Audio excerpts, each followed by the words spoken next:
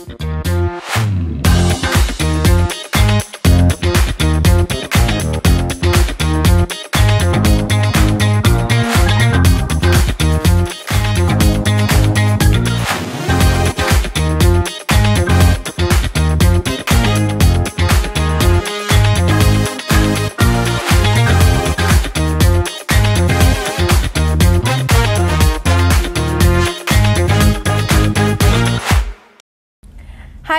Baper, udah kita mau ngobrol-ngobrol nih sama narasumber kita yang keren banget Andre. Dan pembahasannya masih sama, kita bakal bahas soal bisnis thrift yang emang udah dijalanin sama Andre. Kamu dari kapan sih Andre mulai bisnis thrift ini? Pas awal mulai awal covid. Itu 2020 bulan sekitar bulan Maret apa bulan April? Bulan Maret atau bulan April Ah, gitu 2020. Dan dulu waktu pertama kali udah buka toko apa belum nih? Enggak, awalnya tuh ya jualan online dulu, cuma modal dari 20 piece, alhamdulillah berkelanjutan sampai sekarang mungkin udah sekitar 1000 piece lah ada. Gila, 20 Alhamdulillah. piece 20 piece awal gitu ya? dari 20 piece.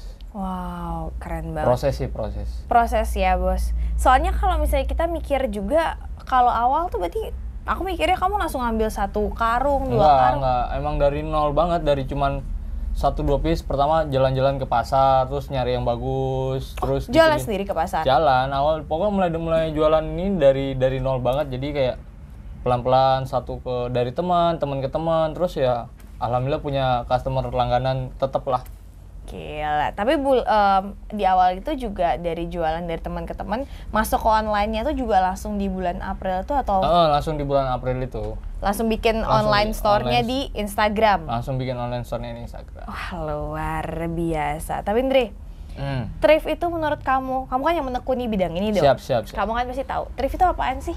thrift itu eh, lebih ke pakaian yang terjangkau sih menurutku dan kualitasnya sangat baik kalau menurutku sih jadi buat mahasiswa-mahasiswa dengan budget sekian mereka bisa dapat eh, kualitas terbaik dengan harga yang terjangkau Luar biasa. Dan ini pakaian-pakaian yang ada yang bilang eh, bekas pabrik, ada, ada yang bilang bekas orang, bekas orang. tapi kita di sini semua udah di laundry jadi aman buat kalian untuk pakai Oke, itu ya teman-teman ya kalau misalnya beli di Best Store sudah pasti terjamin sudah di laundry bersih semua ya. pasti pasti nyaman Bisa lah. langsung pakai ya? bisa langsung pakai langsung Luar bisa buat biasa. selingkuhan pakai jangan selingkuhan Iya iya iya, ngeri banget nggak tuh Besti?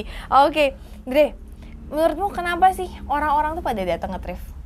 Eh, gimana gimana pada nge-thrift Hah, karena harganya terjangkau dan kualitasnya sih kualitasnya ya. Nah, harganya misal kita punya brand-brand ternama dengan harga yang miring kan dengan kualitas yang baik pasti Benar. mereka tergiur lah. Bener, bener, bener banget ya. Karena orang kalau lihat brandnya apa, pasti udah tahu nih, oh ini kan kualitasnya kayak Oh, gini. ini brand ini nih. Heeh, tapi dapat harganya harga thrift gitu. Wah, luar biasa sih.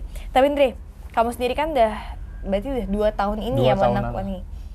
Kalau misalnya pengalaman-pengalamanmu nih yang em, apa namanya yang udah banyak gitu ya. Awalnya kamu mau berkecimpung di sini tuh apakah di awal langsung mengambil keputusan kayak kayak aku mau bisnis ini gitu. Awalnya sih pas covid itu kan iseng doang sih, pengennya pengen buka usaha tapi bingung pengennya pertama jualan bakso kok tapi kalau covid gini kurang nih udah jualan online aja jualan baju kan terus nyari modal yang murah ya jualan thrift pertama ke pasar dari 20 piece itu 20 piece itu. dari sampai sekarang. Wah, itu kalau misalnya awal mulanya langsung kayak lewat bawah yang kayak Ya proses pasar, banget sih. segala macam. Wah, tapi luar biasa loh, Ndri. Ndri, aku mau tanya. Dua tahun ini ya, Mm. pengalaman yang paling berkesan buat kamu? Eh, kolaborasi sama salah, salah satu coffee shop dan bikin event-event di beberapa coffee shop sih dengan komunitas kita juga ada komunitas Oh, ada komunitasnya ada juga? ada komunitasnya Best Thrift itu eh, beberapa thrifting di Semarang terus kita gabung jadi bikin kayak bikin event terus kita eh, jualan bareng gitu loh kayak bazar gitu bazar baju Aku berapa kali sempat datang itu ya, Iya, yang gede-gede itu kan, Gede. gede-gede banget eventnya.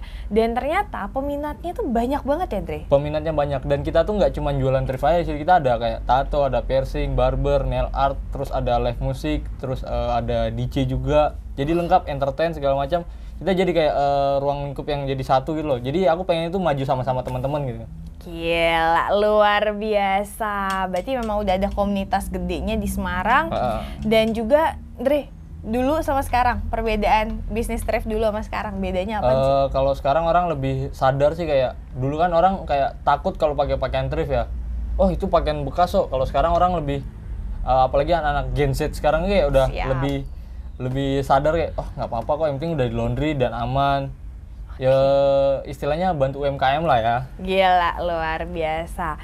Dre, kalau misalnya anak-anak pemirsa baper nih, Hmm. pada mau ikut juga terjun ke bisnis kayak kamu, kamu jangan Bisa. bilang nggak boleh ya. boleh boleh boleh banget. Malah kalau di tokonya Andre itu malah biasanya di store Andre malah banyak kayak seller-seller yang datang ke toko kita belajar sama-sama silakan. Atau mau jadi eh, ngambil paket di saya juga bisa. Jadi biasanya mereka ngambil terus buat dijual lagi. Kita Oke. nyediain. Kita bantu teman-teman yang pengen maju sama-sama. Tapi gila juga sih, Laundry kalau misalnya kayak kamu bisa Maksudnya kalau kadang-kadang kan kita kalau misalnya udah nemu formulanya, kita nggak mau share dong ke orang. Eh. Karena mikirnya kayak, ah ntar nih bakal jadi pesaing dan enggak sih lain-lain. kalau aku sih Kenapa? kalau menurutku sih eh, bagi-bagi apa bagi ilmu tuh bagi rezeki sih Bagi ilmu, bagi rezeki. Luar biasa banget. Dre, kalau misalnya ada yang mau tanya-tanya ke sini gitu, misalnya kayak mau minta tips and trick, kamu misalnya bisa nyampein sekarang nih, kamu mau ngasih tips and trick apa sih buat teman-teman yang mau terjun ke bisnis ini? Eh, buat kalian nggak usah lah jualan gua aja yang kayak enggak enggak, enggak. Kalau buat kalian yang pengen jualan yang penting eh, K3 sih biasanya aku Apa tuh? konsisten eh sama bikin konten sama eh, apa sih Kaya? enggak lah konsisten konten sama eh se- K3 eh, apa ya lupa lagi konsisten, Konsisten, konten, konten. sama eh eh pokoknya itulah tiga ada Ya, nanti K satunya nanti kita insert aja ya, kita edit Insert ya. aja deh. Oke, luar biasa banget ngobrol-ngobrol sama Andre ini. Nah, buat pemirsa baper yang lain, kita juga pengen mau tanya nih Andre biasanya. Baju ya, baju yang Mbok jual di sini itu kan berbagai macam Mhm. gitu. Pernah ada yang zo nggak sih? Pasti, pastinya ada yang zong karena kita belinya per karung gitu kan kayak langsung eh, per kilo 100 kilo pasti ada yang zong. 100 kilo. 100 kilo biasanya gitu. 100 kilo isinya berapa piece nih? Tergantung ya, biasanya kalau crew neck itu eh, sweater dari 140 sampai 200. Kan ada yang tipis, ada yang tebal, ada yang bagus, ada yang zong. Jadi Biasanya berapa persen sih yang zong? Eh, 10 sampai 30 persen. 10 sampai 30 persen. Cara mengatasi, kan nggak mungkin buang dong. Cara mengatasinya ya kita akalin sih biasanya dijahit lagi apa ya udah kita kasih aja orang. Jadi jual yang ada aja yang bisa. Wah, luar biasa. Kalau ngesortir, kamu ngesortir sendiri atau? Kita ada tim, kita ada tim, ada, Ada tim sortir. Ada tim sortir. Jadi memang mereka yang milihin, terus nanti di laundry sama mereka, lalu terus di display di toko. Aku jadi punya pertanyaan Indre. Kalau disortir itu disortir berdasarkan apa? Apakah berdasarkan dengan kualitasnya masih baik atau enggak atau gimana tuh? Eh, biasanya kita cek dari eh, kualitasnya, terus bahannya sama brandnya ya. Sama kita cek eh, kondisi juga. Biasanya kalau ada yang hole atau yang noda, kalau yang kayak hole tuh kayak yang bolong kita kita pisahin dulu. Kalau yang noda nanti kita pisahin lagi nanti. Yang noda kita laundrynya khusus tuh. Oh, ada, laundry khusus? Ada laundry khusus yang bisa ngilangin noda.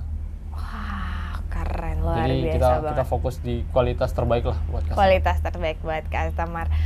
Oke, buat sahabat baper yang masih pada kepo, kita bakal ngobrol-ngobrol lebih lanjut soal em, apa namanya soal thrift ya. Tapi tentunya kita bakal ketemu abis ini, bakal dilanjut di segmen berikutnya. Masih barengan sama aku Carmelita dan juga Andre di Baper Bahas Entrepreneur.